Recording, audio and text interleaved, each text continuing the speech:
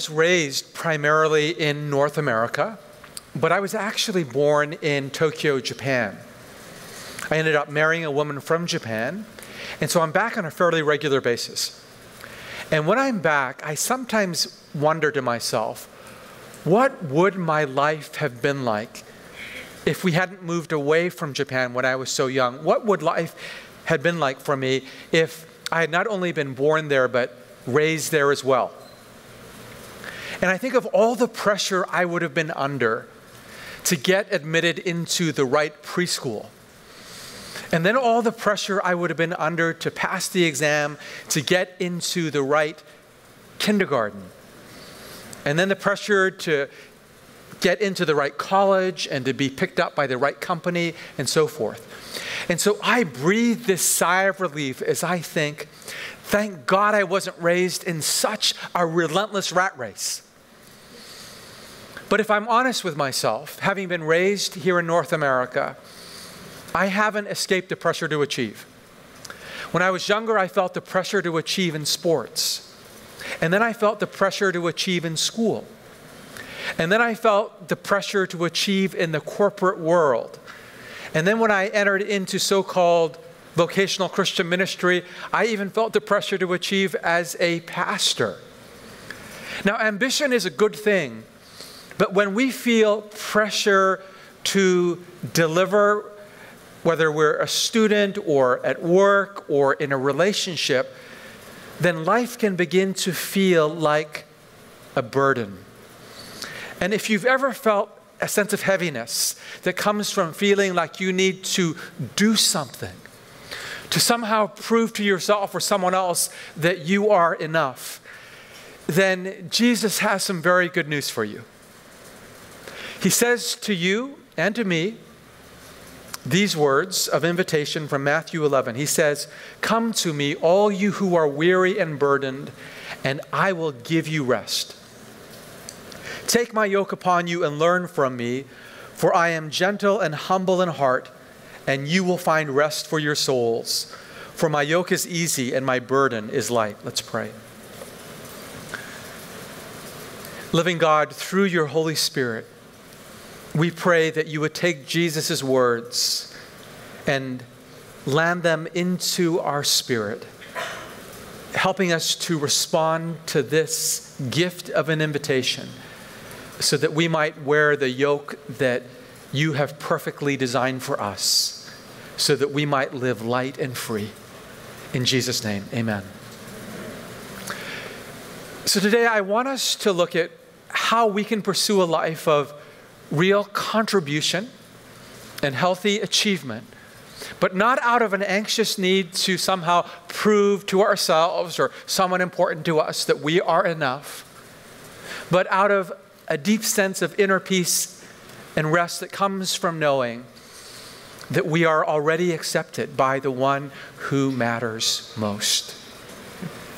Jesus, in our scripture passage today, invites us by saying, Come to me, all you who are weary and burdened, and I will give you rest. How so? Jesus says, I will give you rest, or literally, I will rest you by placing my yoke upon you. Now, when Jesus uses the word yoke, I hope this is obvious enough, but Jesus is not referring to a yellow egg yolk. That would be sort of messy. Jesus in using the word yoke, is referring to a wooden bar that is placed across the back of the neck of an ox, enabling it to more easily pull a heavy load. And so here, Jesus is comparing you and me to an ox. It's not very complimentary, it's not very flattering. If you're an American, you would probably prefer to be referred to as a soaring eagle. If you're a Canadian, do, do, you know what our national animal is? Is, is it Michelle? Is, is, you're from Vancouver, right? So, other than Michelle from Vancouver, does anyone else know what our national animal is, or Helen or Wes that are visiting from our church? Moose? Moose is the number one most popular answer outside of Canada itself. Not the polar bear either. Uh, I'll, I'll give it away here. Our national animal is the beaver. It's on our money, as uh, Michelle pointed out. Not as cool as a soaring eagle, but beavers work pretty hard, they're industrious, and they make decent dams. So you learned something here today at One Love. But Jesus does not compare us to a soaring eagle nor to an industrious beaver, but to an ox. It's not very flattering, but it is appropriate because, like an ox, you and I tend to be weighted down by all kinds of burdens and concerns. When Jesus' first hearers heard these words of invitation, they would have felt weighted down by things like, Will I have enough money to feed my family as they were living day to day in a farming based subsistence economy? Those who were parents would have been concerned about the well being of their children in a first century world where most newborns did not live to see the age of 20. And today, you and I can feel burdened by financial concerns. We can also feel the heavy weight of the well being of loved ones who may not be doing so well. But you and I feel a burden that people in Jesus' day did not feel as heavily. You and I can be concerned about whether we are accomplishing enough, about whether we are enough. And this burden would not have been felt as heavily by people in Jesus' day because their station in life there in the first century was largely determined by the family they were born into and their social circumstances. We now live in a world, whether it's in Hawaii or somewhere else, where we can move up. We can move up in our education. We can move up in our work life. We can move up in our social standing. But what if in this world where we can move up, we don't become really successful? What if we don't become the people that we projected we would one day become? Or what if we don't become the person someone else hoped we would one day become? Then we can feel like a failure. We can feel like a loser. And so when Jesus says, Come to me, all you who are weary and burdened, he's also inviting those of us who have felt the burden to do something to somehow show to ourselves or to other people that we are enough. And Jesus says, If you want to rest deeply in your soul, then place my yoke upon your shoulders. Now, some of you are saying, but in order for me to rest, I don't need a yoke on my shoulders. I need to spend some time swinging in a hammock or chilling out at the spa or vacationing somewhere. I don't know exactly. You don't really need to go anywhere, in my opinion, for a vacation because you're in vacation land to begin with. But maybe you feel like you need a longer vacation, longer than just say Thanksgiving or Christmas, even.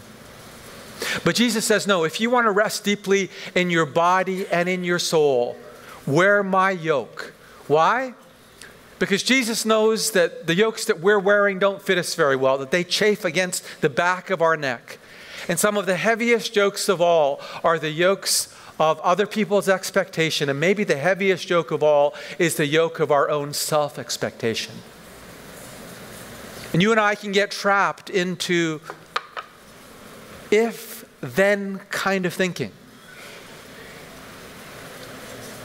We can think, if only I, maybe when we were younger, if only I can get accepted into a certain school or a program, then I'll feel better about myself.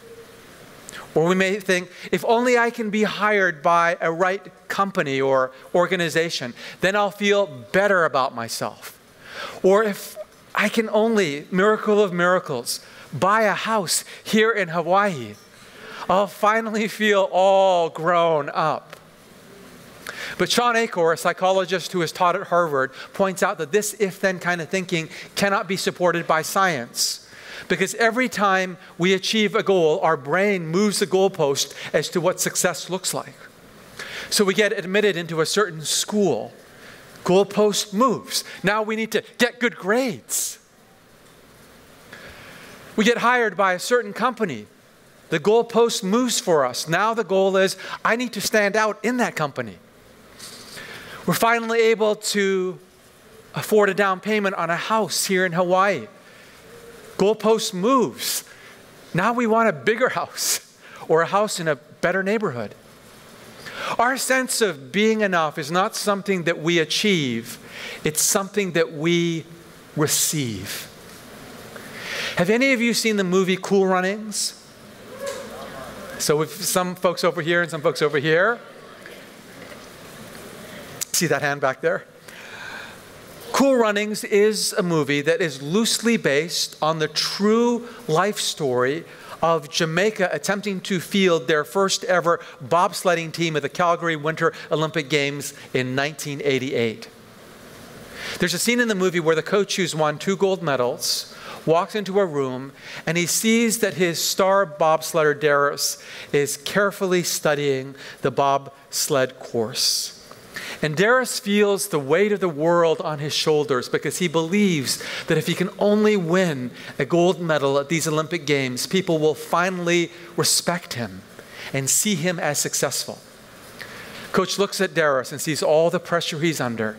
Coach looks at Darius and says, Winning a gold medal is a wonderful thing. But if you're not enough without the gold medal, you won't be enough with it. And if we're not enough without the gold medal or whatever the gold medal represents for us, we won't be enough with it.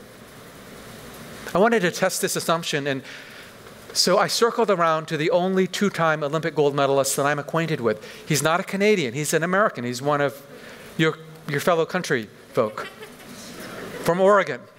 His name is Ashton Eaton. He won a gold medal at the London Olympic Games in the decathlon, repeated four years later as the gold medalist in the decathlon at Rio.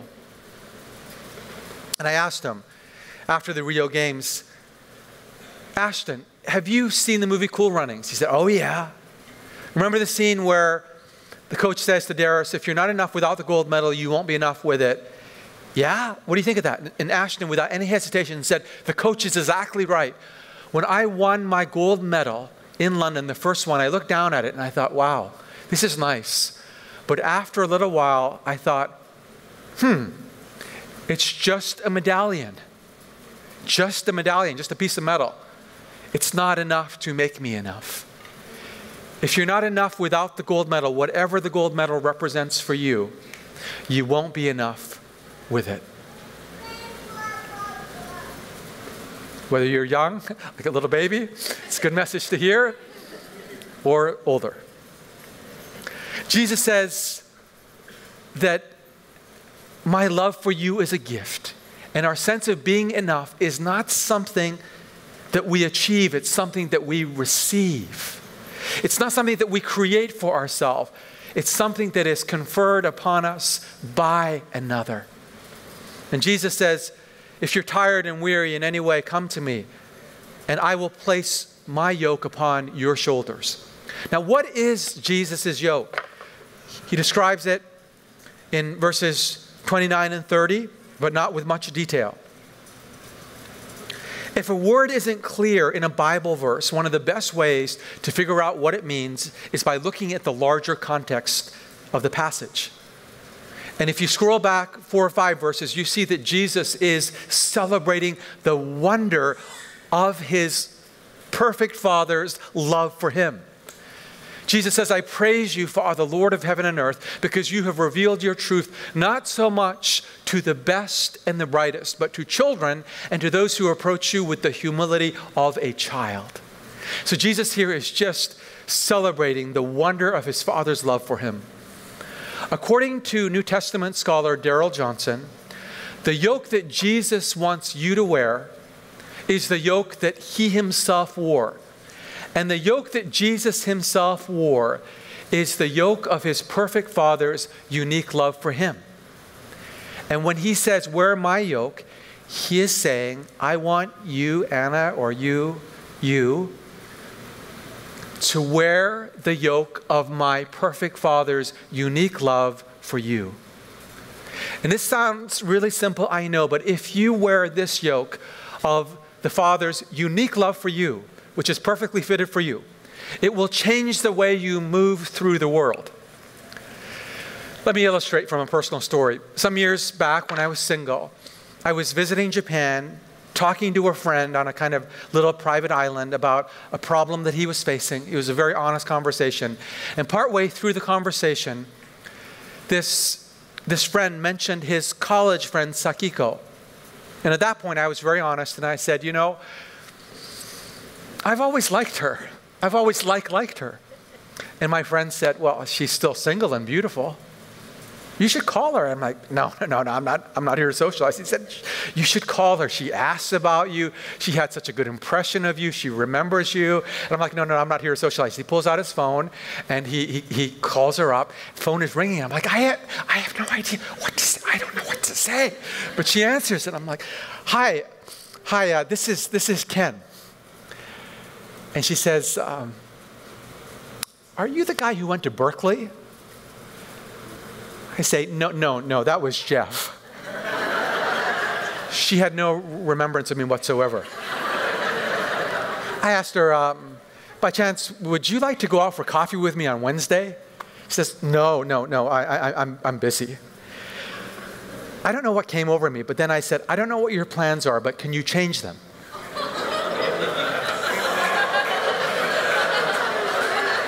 now, I wasn't thinking about this in the moment, but later I thought in Japanese society, it's very hard for a person to say no, especially twice in a row. So all the cultural traditions and norms were working in my favor. Romans 8 28. So I'm glad that you're in my corner over here. So she reluctantly went out with me for coffee. It didn't go very well. But we did get married. Not right away. She was here last night, as Derek knows. But that's not the point of the story. You know, you wouldn't know this about me, but since we're just, most of us are meeting for the first time right now, but I am terrified of rejection, especially in the context of romantic pursuit. So I look back and I wonder how was it that I was able to put myself out for possible rejection and heartache like that? I think part of the answer to that question is that I was slowly learning to wear the yoke of the Father's love across my shoulders. And when you know that you are loved by the one who matters most, even if you're naturally afraid of rejection, you tend to be willing to take more risks, to put yourself out, whether in a relationship or some other venture. And it's not that rejection or failure won't hurt, but if you know that you are deeply loved by the one who matters most, you become more resilient. You become more buoyant. You become a little bolder. You become a little freer as you move through life. So, knowing that you wear the yoke of the Father's love on your shoulders really does change the way you move through the world. As Derek mentioned, I've written a book recently called Survival Guide for the Soul How to Flourish Spiritually in a World That Pressures Us to Achieve. And in this book, I talk about some of the habits, the survival habits of the soul that enable us to live loved by our perfect Father in heaven. So, one of the survival habits that I, that I write about is prayerful meditation. I'm a very easily distracted kind of person. So, when I leave our house, the door. Uh, about 10 seconds after that, 15 seconds after, I typically come back in the house and say, I forgot my keys or I forgot my wallet or whatever. I'm very easily distracted. At any given time, I can feel like there are 127 monkeys jumping around in my head. And so at some point in the morning, I'll simply take some time to sit and breathe deeply. Breathing in through my nose deeply, breathing out slowly. Breathing in through my nose slowly. Breathing out. And then I'll start to wonder how much time has gone by anyway? so I'll reach for my phone, not to check my messages, but to open up a free app, and I prefer the free apps, called Centering Prayer. It has a timer, so I might set the timer to 10 or 15 minutes, maybe 20 minutes. So I'm not thinking about the time. Continue to breathe deeply. Chime sounds as though a country church bell were inviting me to pray. Continue to breathe deeply in through my nose and exhale slowly. Inhale deeply. Exhale slowly. And then I start to think of all the things I ought to be doing, my to do list. And so I'll reach for my Bible, or maybe just for a passage that I'm familiar with. And every time my mind wanders, I'll repeat the passage of Scripture as a kind of affirmation Be still and know that I am God. Distracted. Recite the Scripture. Be still and know that I am God. Let me change the scene just for a moment. I'm from Vancouver, which, as you may know, is a city close to the ocean, so I live not that far from the ocean. I love being on the water, kayaking or sailing on a friend's boat.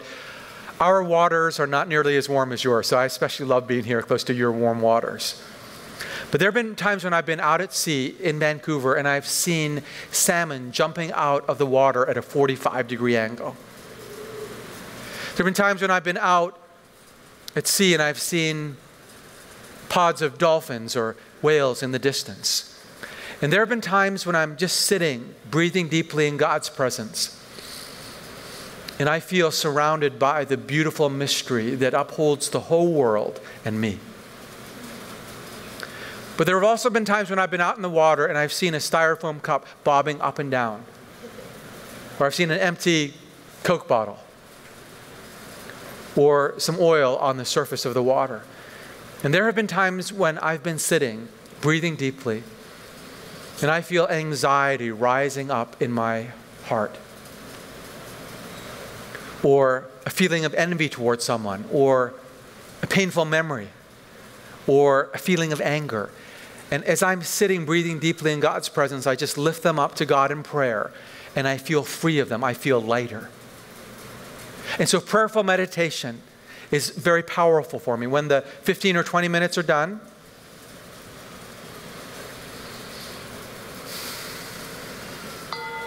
chime sounds. I open my eyes,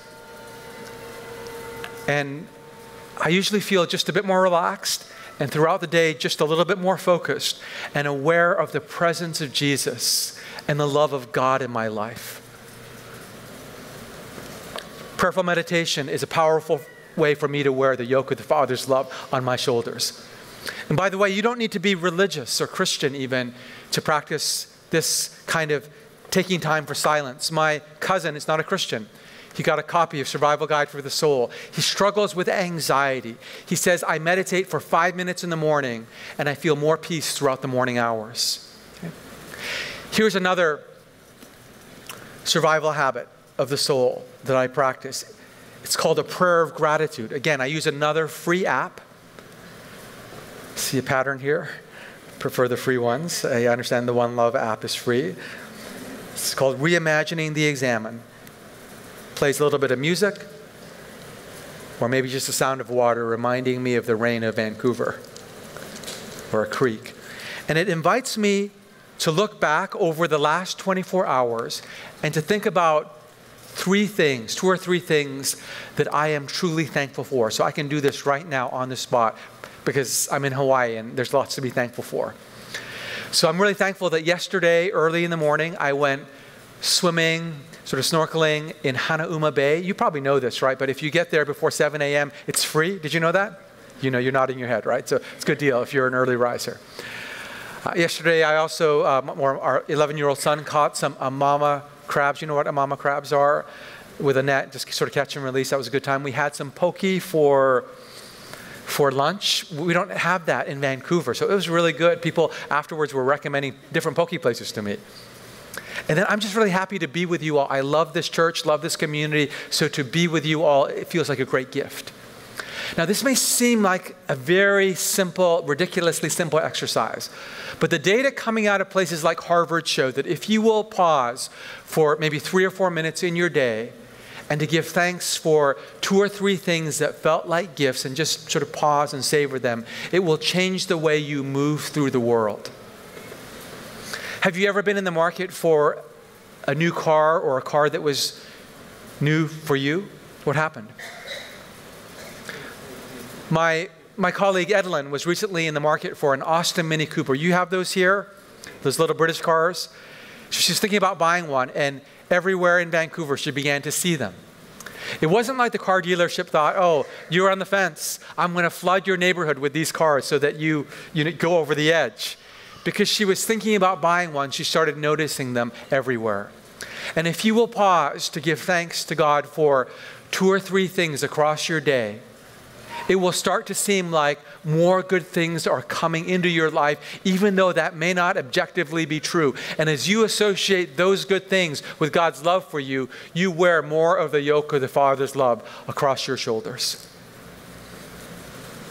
Another survival habit of the soul, and the last one, insofar as this message is concerned, is Sabbath. Sabbath rest. Part of the reason God gave us the gift of Sabbath is so that our identities would not be formed primarily by making bricks for Pharaoh, in a manner of speaking, through our labors, as important as they may be, but that our primary identity would flow out of the fact, out of the glorious fact that we are beloved daughters and sons of a living God who cherishes us. Our son Joey was at our service last night. He's 11 years old. He's not very productive. Loves to play with his toys, does not love to clean up his room, nor did I when I was his age.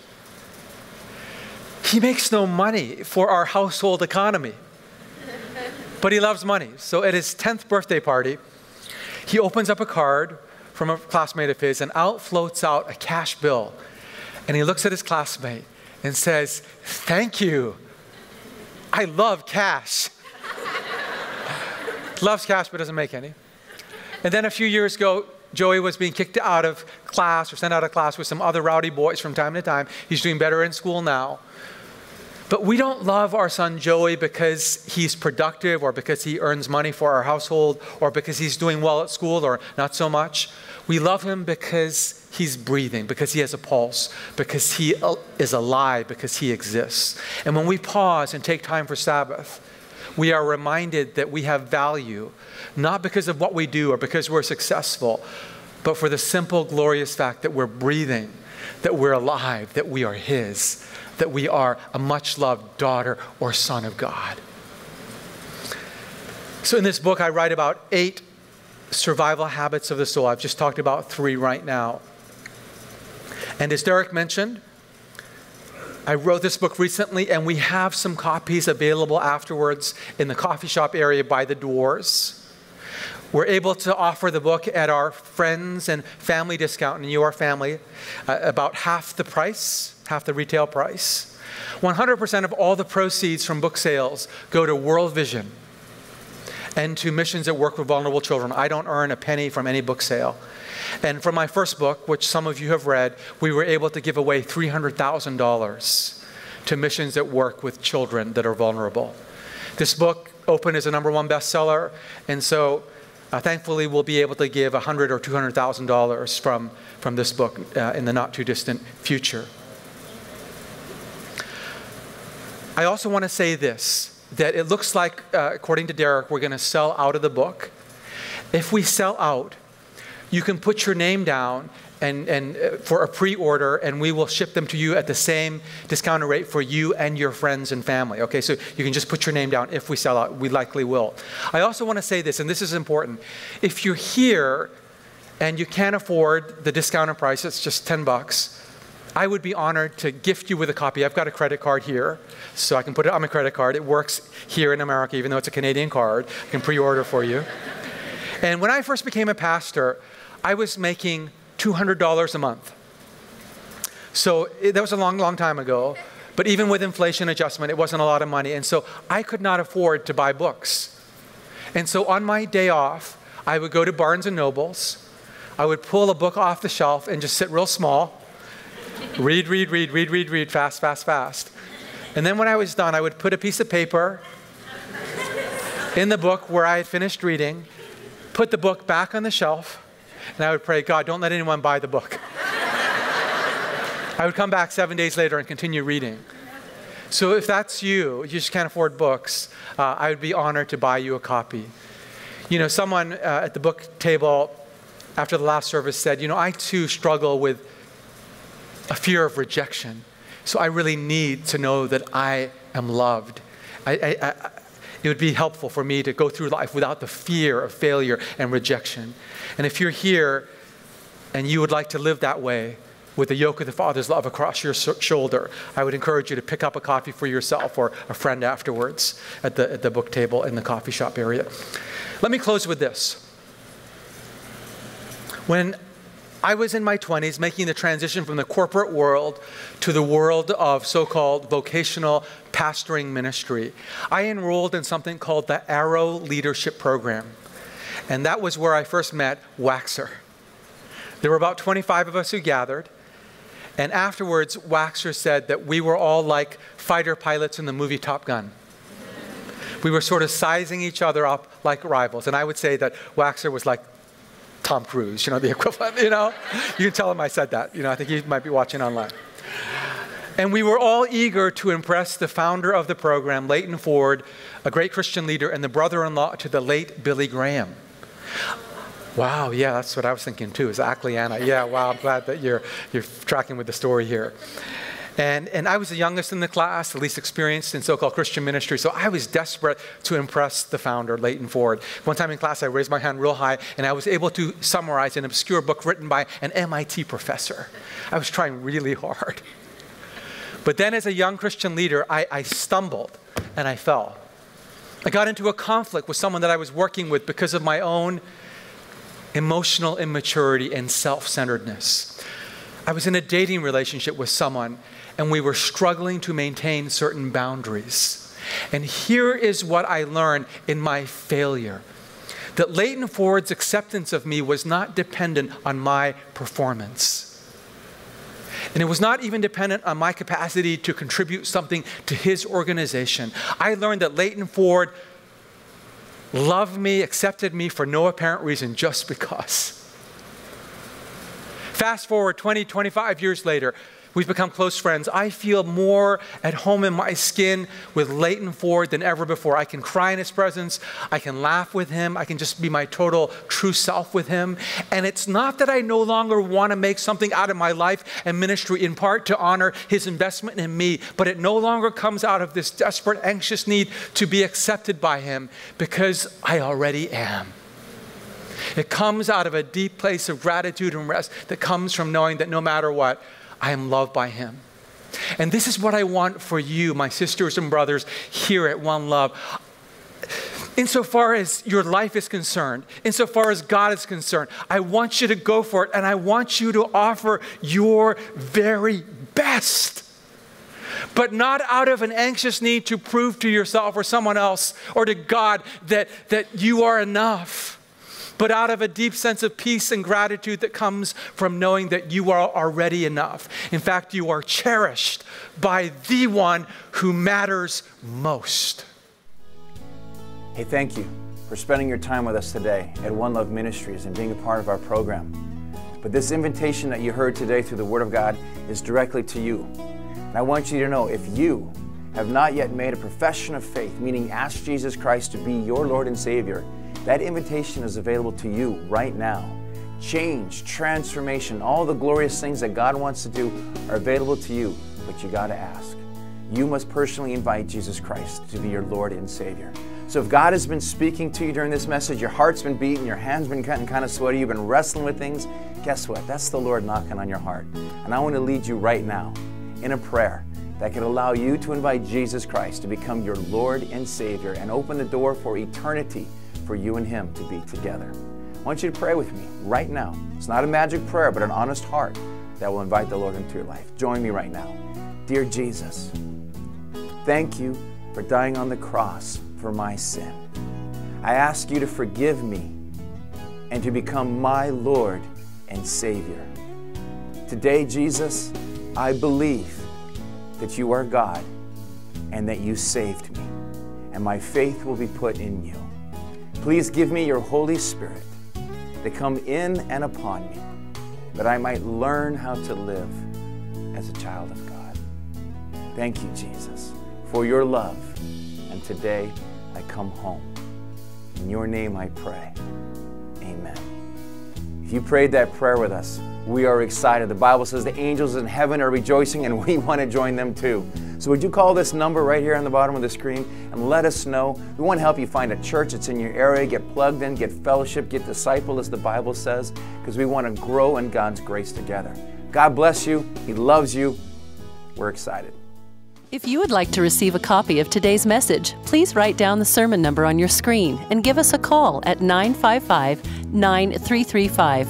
For service times and locations, check us out on the web at onelove.org. Mahalo for watching.